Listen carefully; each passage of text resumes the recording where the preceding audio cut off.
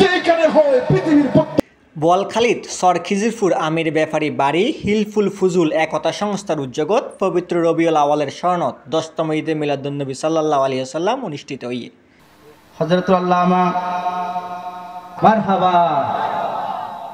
জানুয়ারি তেরো তারিখ বৃহস্পতিবার আমির ব্যাপারী বাড়ি জামে মসজিদ সংলগ্ন ময়দানত পীরে কামেল মাওলানা নূর মোহাম্মদের সভাপতিত্বে ও মোহাম্মদ আব্দুল করিমের সঞ্চালনাত মাহফিলে উদ্বোধক হিসেবে উপস্থিত আছিল হাফেজ মাওলানা মোহাম্মদ করিমুল্লাহ প্রধান মেহমান হিসেবে উপস্থিত আছিল আল্লামা মুফতি মাওলানা মোহাম্মদ ওসমান গনি সালেহি বিশেষ আলোচক হিসেবে আছিল মাওলানা মোহাম্মদ জাহাঙ্গীর আলম নৈমি।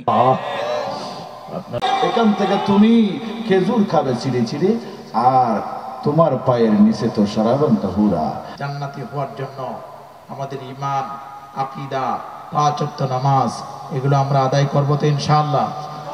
এর অন্যান্য কলের মধ্যে উপস্থিত আছিল পৃষ্ঠপোষক মোহাম্মদ শাহজাহান জুয়েল মোহাম্মদ জাহেদ মোহাম্মদ সোহেল মোহাম্মদ জসিম সহ সংগঠনের ব্যাগুন সদস্য এবং এলাকার গণ্যমান্য ব্যক্তিবর্গ।